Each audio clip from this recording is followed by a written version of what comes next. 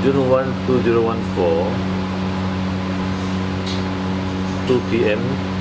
About uh, one hour after extraction of the premolar tooth, you can still see a bit of the swelling below the right eye. Now this swelling is due to a hematoma. Hematoma in the maxillary sinuses. The, the bleeding in the maxillary sinuses. Uh, it will drain out, drain out, and then uh, later on it should be much better after after this. So there is no abscess now, no pus.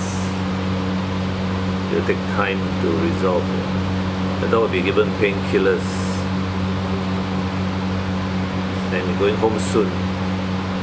June 1 2014, Toa Payoh Vets, right upper PM4, carnassial tooth abscess.